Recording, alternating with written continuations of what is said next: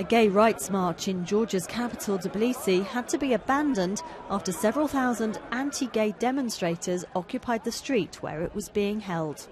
The protesters, who included Orthodox priests, insist that homosexuality runs against the country's traditional Christian values. Some of them brought nettle plants, which they said they would use to beat the gay people with. The Georgian authorities had given their approval for the rally, which was supposed to mark International Day Against Homophobia, saying that all citizens, irrespective of their sexuality, were entitled to voice their views in public. However, despite a heavy police presence, some of the Orthodox demonstrators stormed barricades to chase the relatively small number of gay activists. Several officers and journalists were reportedly injured in the scuffles. Police then had to guard the gay activists and bus them out of the city centre.